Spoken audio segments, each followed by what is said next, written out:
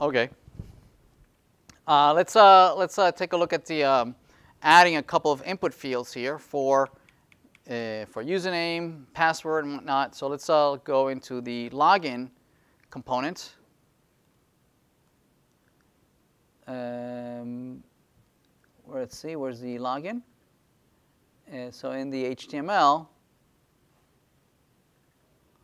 let's add a, a, simple form, right? Where we have username, password, and whatnot. So let's that, that renders how. Let's see. If we go to login, we have that input field. Yes. All right. Uh, and uh, we can bind. Um, uh, we know that we can bind form elements. So for instance, we can declare here uh, an ng model, right, and map it to a variable on the other on the other side as a username. And same thing, we can do the same thing with a, uh, with a password. So this is password. And this is of type password. Okay, and the, and the button, we could tie it to an event handler uh, such as click, and this says uh, login. And we can pass along the username and password to the component. Yes? So the component would expect that.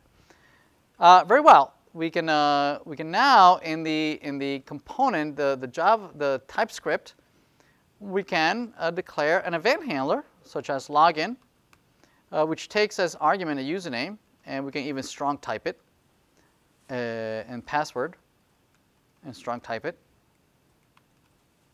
The strong typing is optional in TypeScript, right? but it's usually a good uh, it's a good idea to make sure that the types are correct. And here we can console log and display the username and the password. Okay, uh, so that if we if we if we type here and we type the values, it's auto uh, auto completing. Login. Notice that the values do make it to the to the to the component. Make sense? Uh, something also pretty cool is that these don't necessarily have to be just plain old uh, strings. Right? This could be uh, objects. Right? This could be user.username. And this could be uh, user.password. Okay? Um, and, and this could be just user. Pass in a user object. And on the other side, in the login, you could be a little more object-oriented. Instead of just uh, something as low level as just a username, you can take a user object and display the user.username and user.password, which is pretty cool. And uh, pass in, and it didn't work. Um, I need to declare an object uh, of type user that has username and password, um, which is pretty cool, right? That you can you can declare uh, um, objects as well. I don't want to get into a data model just yet. Let me put it back the way it was.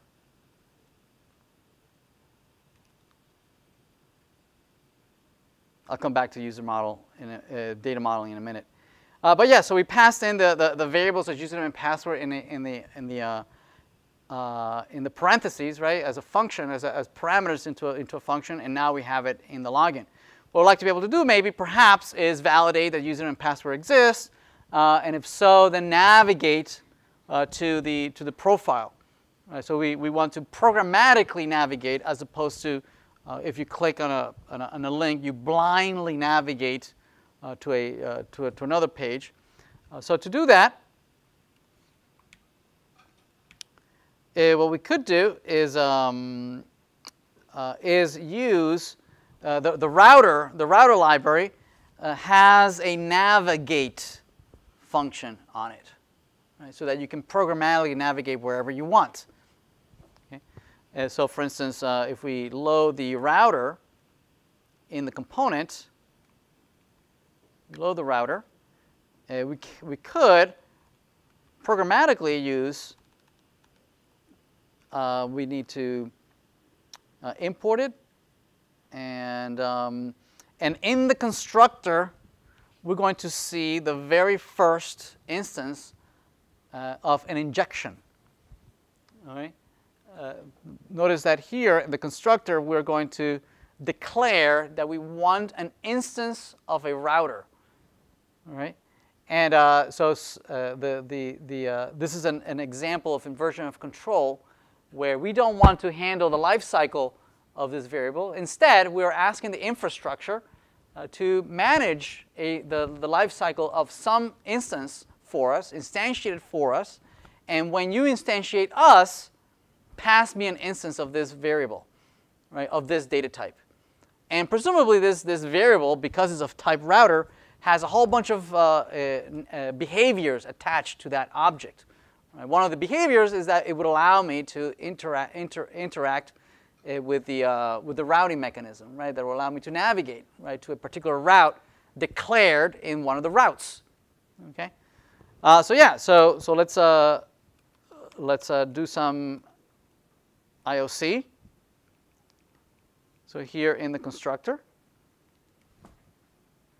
In the constructor, we're asking right, to instantiate a variable of type route and make it available to us.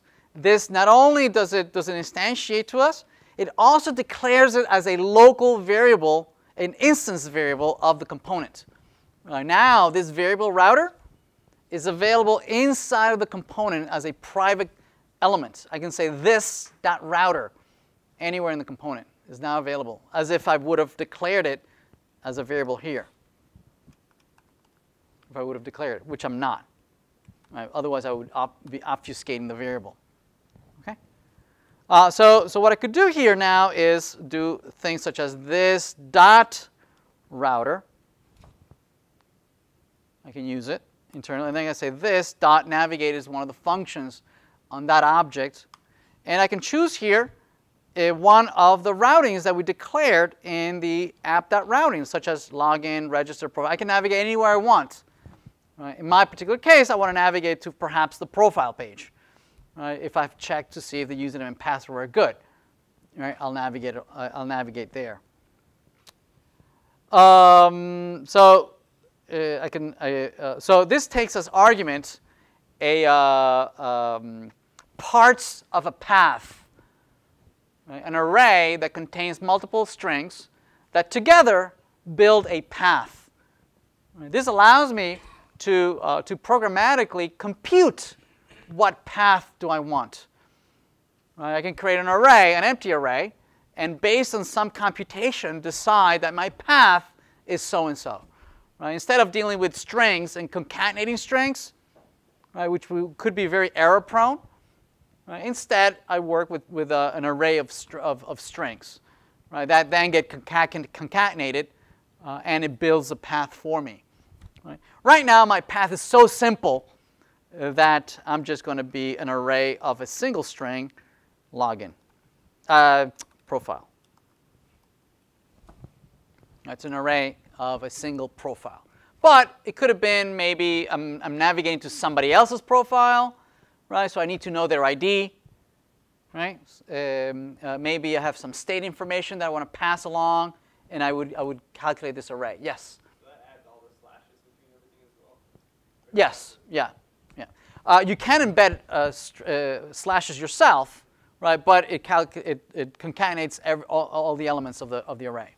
And the resulting path needs to match one of the routes. Otherwise, you're, you don't go anywhere. Yep. Uh, this might need to have a slash at the, at the front. Uh, all right, so excellent. So I'm just going to go uh, log in. And notice that it navigates to uh, the profile. It, goes, it goes there. Um, all right, excellent. Um, what else? Okay, we haven't talked about user services just yet. We haven't talked about services in, at all. So I'm not going to go there just yet. Um, oh, okay, no, it's a it's a hard-coded service, so so we might we might be able to play around with that. Okay, so let's talk about services.